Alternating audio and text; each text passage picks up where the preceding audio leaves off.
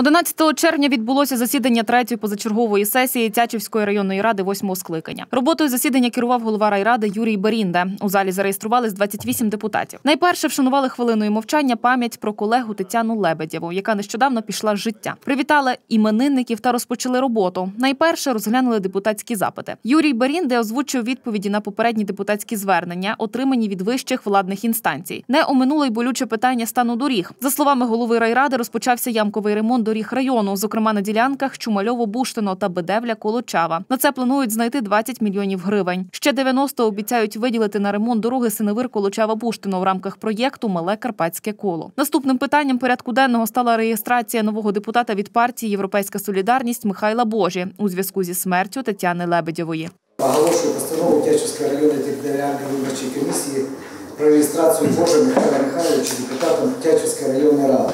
Урочисто присягаю, що буду вірно служити громаді та народі, народові України, неухильно дотримуватись Конституції України та законів України, сприяти втіленню їх у життя, охороняти права, свободи і законні інтереси громадян. Також депутати прийняли низку програм підтримки депутатської діяльності, розвитку територіальної оборони, культури і мистецтва, програму підвищення рівня безпеки дорожнього руху, розвитку міжнародного співробітництва та міжрегіональної співпраці Тячівського району та інші. Одне з важливих рішень, прийнятих на сесії, стосувалося діяльності КНП Тячівська районна лікарня. Тячівська громада з населенням у 19 тисяч мешканців не в змозі самотужки утримувати заклад, який обслуговує в 10 разів більше пацієнтів з усього району. На рівні великих городів, міст, мільйонників, тисячників, там 100 тисяч і так далі, де надходження йде у казну громади, там це утримувати можливо.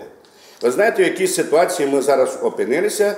У нас є вже борги по енергоносіях. З огляду на ситуацію прийняли рішення передати лікарню у спільну сумісну власність дев'яти громад Тятівщини, окрім Дубівської. Надалі всі питання щодо діяльності закладу вирішуватимуть спільно. Районні обранці проголосували й за передачу будівель районного будинку культури та центру дитячої і юнацької творчості у комунальну власність Тячівської громади. Я впевнений, що е, міський голова і його депутати е, цей об'єкт будуть, е, скажімо, утримувати в належному стані, проводити різні різні масові, скажімо, міроприємства. Відтак депутати призначили директором КП Агенція регіонального розвитку Тячівського району Івана Шімана, який дотепер був виконуючим обов'язки керівника. Ця установа вже активно займається залученням грантової допомоги для розвитку установ району та громад. Ще одне важливе депутатське рішення внесення змін до бюджету району на 2021 рік. Зокрема, виділили кошти для погашення заборгованості у Тячівському управлінні соцзахисту населення. Ми сьогодні змогли е, прийняти рішення про те, щоб виділити з районного бюджету 630 тисяч на те, щоб, е, щоб погасити оце, е, як кажуть, ті заборгованості, які кажуть, вже накопичилися, без яких не можна не можна вже нормально ріднично працювати. Емоційним стало обговорення виступу Буштинського селищного голови Руслана Янчія, який просив районну раду передати в комунальну власність Буштинської громади оздоровчий заклад для дітей Берізка районної ради. Зараз у нас пройшла децентралізація, де згідно нового законодавства всі об'єкти, які знаходяться на території громади, мають перейти власність територіальних громад.